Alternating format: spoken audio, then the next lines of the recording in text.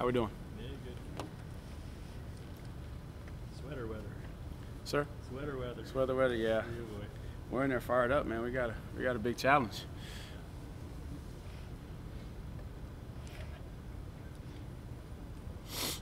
Last, last time we were in the ACC championship game, we were in the rain. You know, how do y'all prepare for weather? I guess. Anytime that the forecast is calling for rain throughout the course of the week, uh, we'll we'll be very intentional uh, in getting prepared. Uh, have different segments of practice where we'll practice, we'll practice with some wet balls. Uh, just try to simulate and recreate the environments as much as possible. Uh, I think we talked about it earlier uh, today, and hopefully it's not calling for any rain. We know that this game's always been pretty cold. Uh, it's, it's pretty chilly up there in Charlotte this time of year, but we're hoping there's no rain. But if it is, you know, it doesn't matter. Part of our mindset here at Clemson is, you know, it doesn't matter who we play, where we play, what the weather is. You know, it's all about how we play. We try to block out as many of the uh, external factors as we can. Tony, on Saturday, you guys, like you had made a couple changes in alignments, fi- wide receiver wise, moving some of the, your bigger guys into the slot. You know, is that something designed just for this game, or is it something you guys are planning moving forward?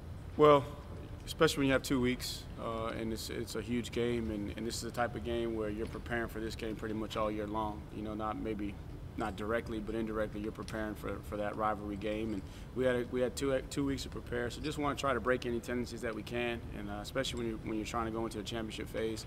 Uh, it's not about the plays this time of year; it's about the players. Uh, just getting them in a position to be successful, and uh, had a lot of success uh, last year during this time of year, moving some guys around and. Uh, you know, Justyn was comfortable uh, with, with what we put on his plate, handled it well, and uh, we'll just continue to find ways to try and create matchups. Because again, when you're talking about championship football, uh, the, the teams are going to be pretty much even. Uh, so you, any kind of schematic advantage you can get uh, by personnel matchups, we're going to try. But at the end of the day, just put players in position and let them go make plays. The bunch formation, I think you used on two of the touchdowns. What did you see there that you really liked?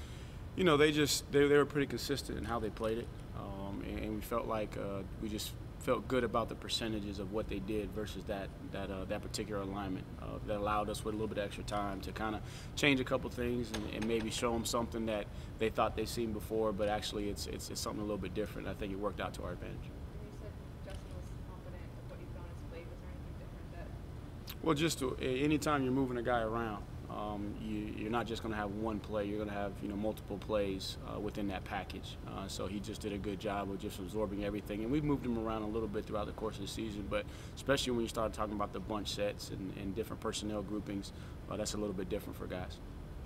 What is it about Justyn where he seen he did it last year too? He had the big game Saturday. He seems to play his best football at the end of the season, and maybe how much of that is because you guys seem to really pare down the reps as far as getting your your big time guys out there in these final few games of the year. You know, I think that at first he's just a, he's just a confident guy, and, and he lives for the moment. You know, it's it's it's that's what's impressive about a lot of these guys. The bigger the stage is, the better they play, uh, and he's just uh, built from that that kind of material. Uh, the bigger the stage is, the better he's going to play. And uh, and again, at, at this time of year, it's all hands on deck, and and the guys have really bought in. The biggest thing is, you know, plays only work when players believe, uh, and all these guys, Justyn in particular, they believe in, in what we're doing. Uh, they accept the challenge of, of, of things being a little bit new, but they understand why we're doing it. Uh, we're not just doing it for the sake of, of Jeff and myself and the offensive staff to try and take credit. We're trying to do it to put them in position to be successful. And so when the guys believe, uh, they go out and they work hard and they're able to uh, put in the put in the work to get the details down. And that's the biggest thing. And uh, he was able to get the details down, and it worked out. And happy for him. What does it kind of say about his mentality and his, his team first approach that everybody seemed like he was primed to come in and put up these massive numbers, and just because of the way you guys go about your business, he's had very you know modest statistics this year. Maybe didn't have the breakout year a lot. That, that's what's great about uh, all the young men in our program. You know, coming in the door, they understand that there's no entitlement. Everything's going to be earned, uh, and if you pay the price, then, then ultimately the rewards will take care of themselves down the road. Uh, and that's just the kind of young man he is. That's how all these guys are. Uh, even early in the season with Travis, you know, Travis was, even though things might not have statistically been going the way he wanted them to go, he was still playing hard. He was still doing the little things that he needed to do without the ball, and that's just all of our guys. And that's what's so impressive about this group, especially this group offensively, is just how unselfish these guys are, and, and they understand that they're all, they're all pulling in the same direction. They all want the same thing, uh, and they understand in order for us to be able to accomplish the things as a team, then individually you got to sacrifice a little bit. Uh, but if you're willing to sacrifice, ultimately you're going to be rewarded because when the team wins, everybody wins. Virginia's been effective, I think, putting a lot.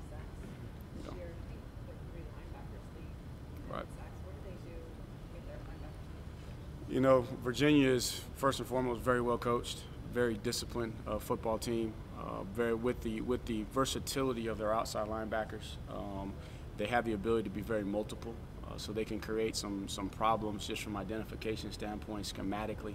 Uh, schematically, they, they they present problems, and then the players, you can tell they, they believe in what they're doing, and and they're very well coordinated.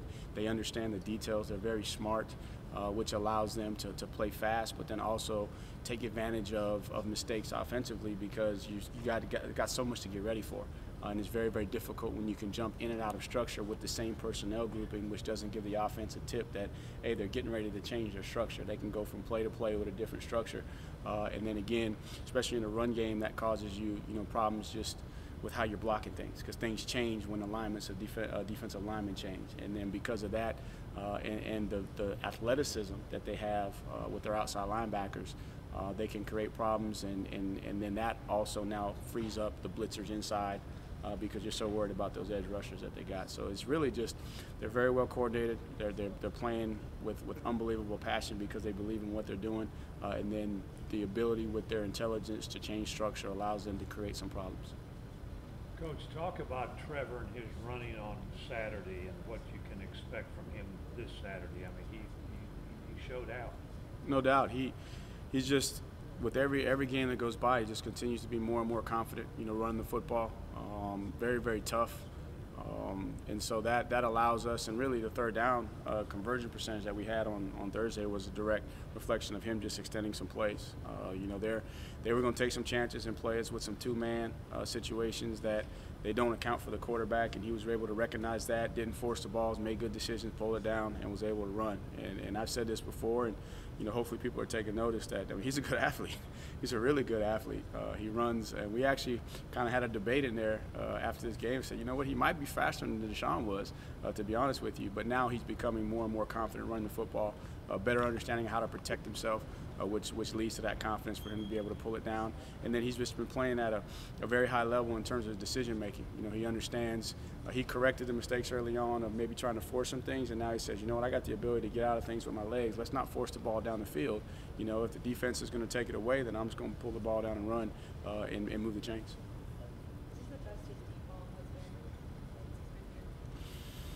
And that's hard to say because uh, his deep ball's been good since the day since the day he showed up. But uh, but right now, uh, it looks like the, the guys are, are, are, on the same page. You know, I think with the exception of that first play, if he if he had that one back, he probably put it out there a little bit more. Tee had two hands on it, uh, very contested play. Could could have came down with it. Uh, but right now, you know, those guys are on the same page, and, and so what he's been able to do, which is is just a testament to the kind of, of, of player that he is, he's able to understand his personnel. You know, it's very, very difficult to throw that deep ball when you got a lot of different guys that you're throwing to, and each one of them has their strengths and their weaknesses. Each one is a different speed, uh, so he has the ability to just anticipate based off his personnel, uh, and his guys are have given him the confidence by making the plays too. Uh, so he's put the ball where it needs to be, but the guys have gone up and made the plays, uh, which you know really increases their confidence and overall the, the quarterback's confidence. Coach, obviously, season, you know, uh, you one of the top in the country. Uh, sure, this is a candidate for the DC job. The, the same the same thing that, that I say every year. Um, Coach Swinney, these players, the staff, man, they've been too good for me. Been too good to me over the years for me to be distracted this time of year. Uh, I understand that, that that comes with the territory, but my focus is on being my best for these players. I mean, we got a chance to, to do something special. And I told the guys before before we went out uh, versus South Carolina that, you know, this is I kind of compared it to the Roman Empire you know, and, and my favorite movie is Gladiator. You know, these guys have a chance to, to do something in life that will echo in eternity.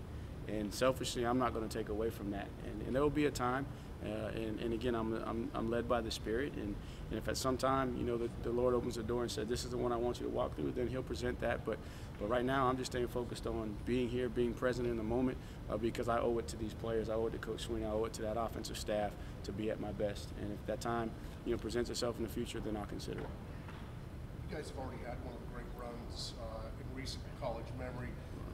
Winning back-to-back college championships with cement, that, that's an all-time next level thing. Does that ever come up in practices at all, or is it just kind of an, un, an unspoken thing that you know that's a, that's an unspoken thing amongst you know the, the, the coaches and, and the players. Uh, obviously, Coach Swinney is Uh, and that's what I admire about him the most, man. He's a man of vision. You know, he sees things before they happen, and he's able to to paint that big picture vision. And so, yes, he, he's talked about it with the team, you know, just a little bit to say this is what's possible.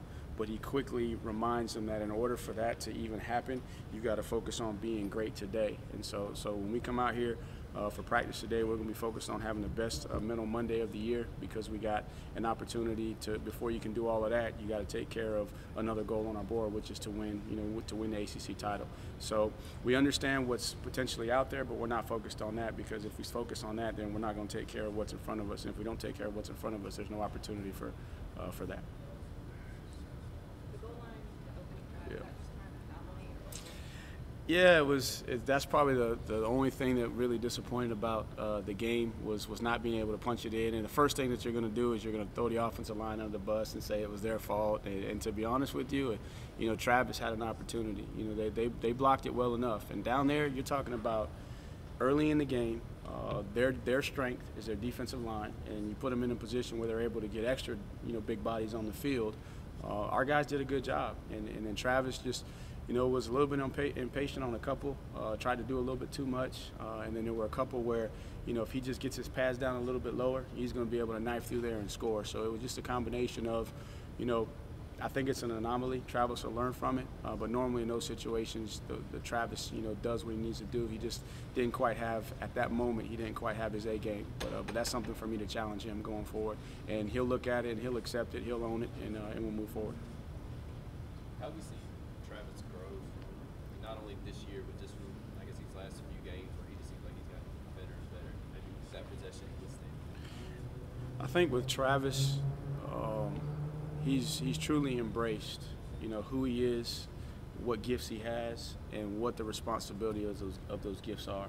Uh, I think going into the season, uh, he didn't he didn't necessarily want to accept the responsibility of being the true leader in the room because prior to uh, you know Tavien leaving, he wasn't going to be the guy. Tavien was going to be the senior, the natural leader in the room. So that kind of forced him into that role, and he was just trying to figure it out. He was trying to figure it out. It's, it's kind of well, what do I say? When do I say it? What do I say? How do I do it? And then now it's just coming natural to him. He's embraced it.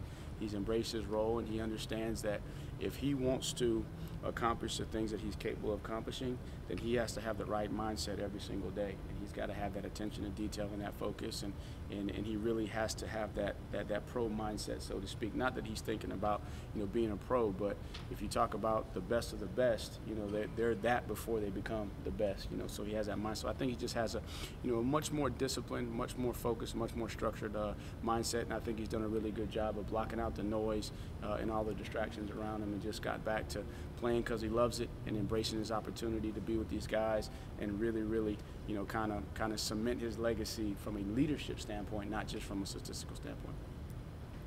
Has Lyn-J progressed about as well as you could hope as a sophomore? You know, there's still some areas I thought that, that there was some plays, you know, in the game uh, that you saw, and it's just little things. You know, one was a little kind of little toss play, uh, wasn't a whole lot there. Man, he dropped his pads, and that's something that I've been challenging him to do. Uh, then there were a couple other ones uh, where I'd want him to have that same mindset. So he's still a young guy, but I think he's headed in the right direction. Feel really confident with him in the game at any point in time uh, because he's been able to truly understand what we're doing in all situations. Uh, that's why you're seeing him play a lot more early uh, in the game, uh, and there's no hesitation if Travis needs a blow uh, to send Lyn, Lin J in there and let him play. He just has to continue to work on being consistent. And over the last several games, you've seen a lot more consistency out of him. So I think he's maturing, you know, at the right pace, uh, but still opportunities for him to grow. And the good thing about about Lyn-J, uh, I know he gets a lot of recognition for his dancing and, and you know having that that personality, but I've just seen a different different focus and demeanor about him, you know, over the last probably about four or five weeks. All right, thank you, coach. Thank All you, right. Tony. All right.